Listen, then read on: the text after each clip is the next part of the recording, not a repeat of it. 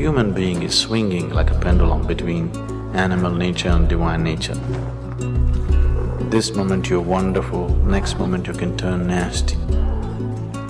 As long as the animal nature is alive in you, divinity is just a dream.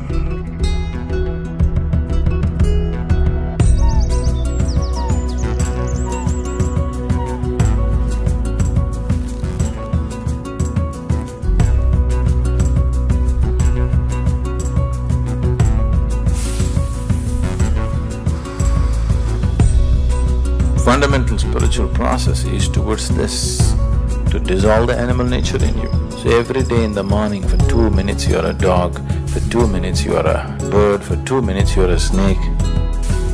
Six months, you just go through this every day.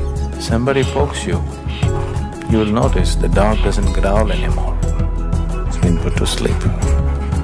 That needs to happen. That must happen in every human being, isn't it so?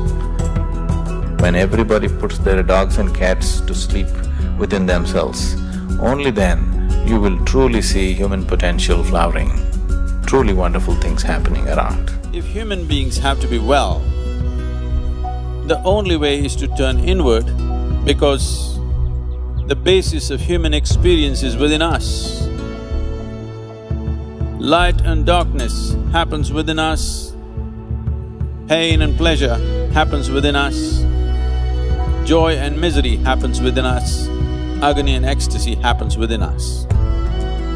So yoga day, what this means is, not up, not out, in is the only way out. This is the fundamental message.